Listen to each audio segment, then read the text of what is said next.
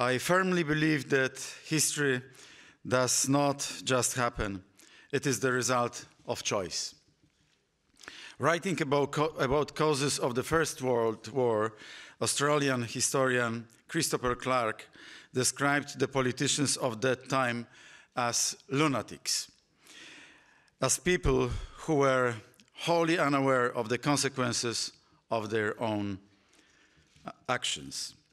I believe that war is never inevitable. It is always the result of either a conscious decision or a lack of, there, of thereof. It takes courage to face the truth. The massacre in Bucha, the murder of civilians in Irpin, the hecatomb in Mariupol. All these events should wake us from our geopolitical slumbers and cause us to cast off our own delusions, our old delusions. But is that enough? I hear there are attempts to allow Putin to somehow save face in the international arena. But how can you save something that has been utterly disfigured? Today, with good reason, we are trying to understand the dynamics of the revival of Russian imperialism and perhaps even its totalitarianism. But we must also be ready to take a good look in the mirror and answer questions about our own identity and strategy in a world once again filled with uncertainty. I would like to thank the Polish Institute of International Affairs for organizing the meeting in Warsaw. It is hard to find a more appropriate place to talk about the future of the West. 100 years ago, a battle took place on the outskirts of Warsaw, which shaped the world order for the following two decades. Now, the battle for Ukraine may decide the future of the next 100 years. The paradox of this war is that if Ukraine wins, it will be the first and foremost her victory. But if she loses, it will not be so much her defeat as defeat for us all and the end of the world as we know it. This is why I make such an unequivocal urge for the isolation of Russian president. Yes, diplomacy requires dialogue, but you cannot negotiate with terrorists.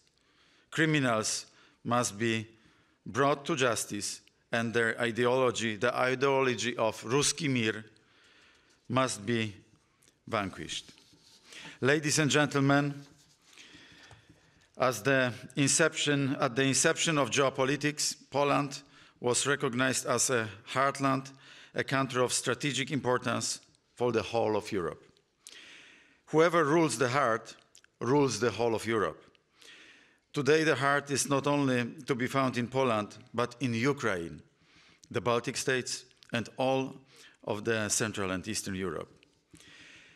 Our quite special position in Europe means that we cannot only be the heart, its heart, but also its conscience. For us, the evils of the 20th century are not merely distant history, but still a living mem memory.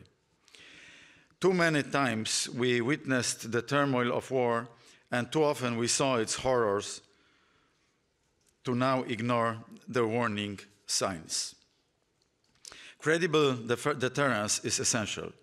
Russia can only be deterred by our unity and military cap capabilities and hard sanctions. Not by phone calls and conversations with Putin, but by military aid to Ukraine and strengthening NATO's eastern flank. United, we are much stronger than Russia.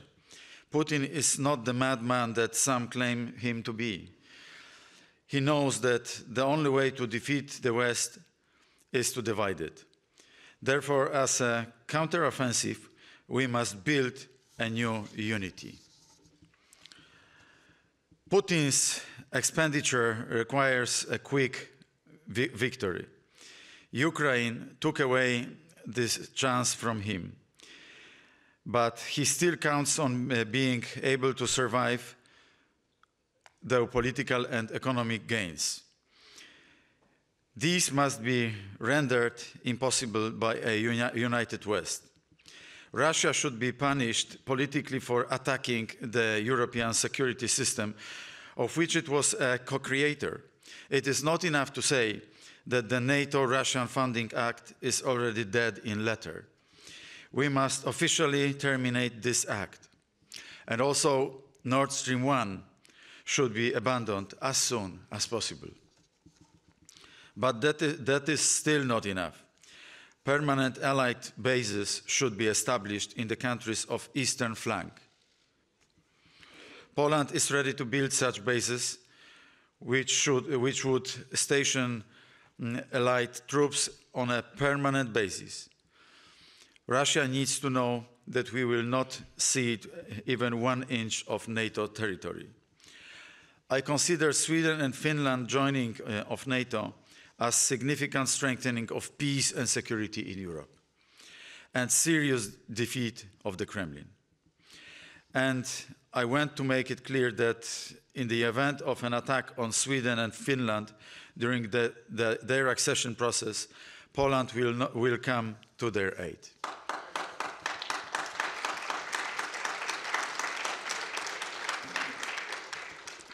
We must also be aware that NATO enlargement to include Sweden and Finland is a political commitment of the entire transatlantic community to Ukraine. It is the defenders of Mariupol, Kharkiv, and Kiev who opened their door to NATO enlargement with heroic their heroic struggle.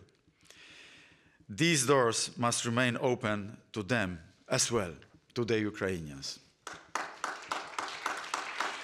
Finally, a word on economics. For years, Poland has warned its allies that Russia could take, could take, advantage of Europe's dependence on supplies of Russian natural resources, especially oil and gas, to further its imperial aspirations.